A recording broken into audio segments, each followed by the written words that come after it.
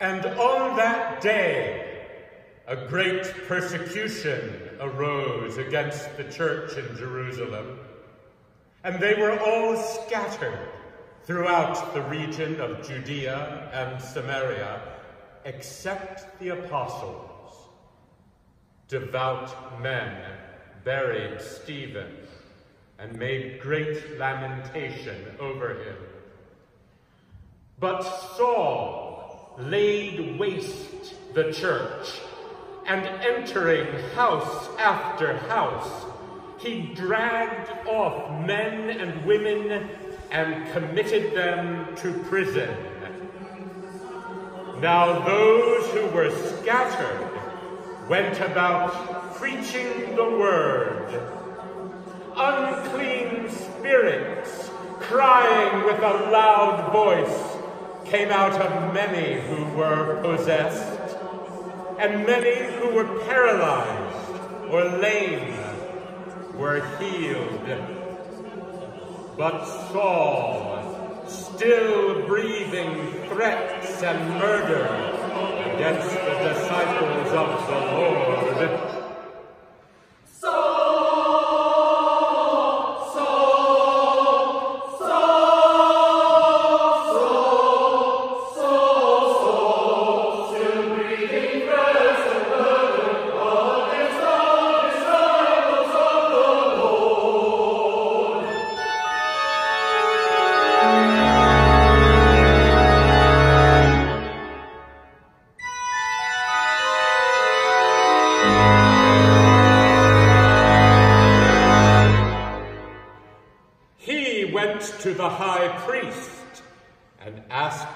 letters to the synagogues in Damascus, so that if any be found belonging to the way, men or women, he might bring them bound in chains back to Jerusalem.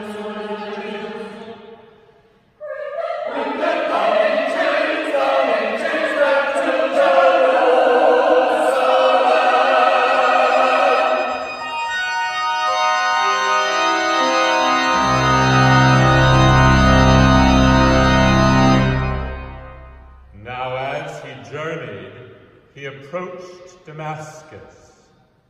And suddenly a light from heaven flashed about him, and he fell to the ground and heard a voice saying to him,